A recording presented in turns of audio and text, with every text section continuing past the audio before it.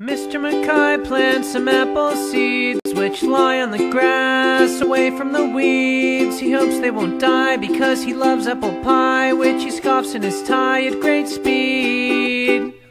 Mr. McKie plants some apple seeds which lie on the grass away from the weeds. He hopes they won't die because he loves apple pie, which he scoffs in his tie at great speed.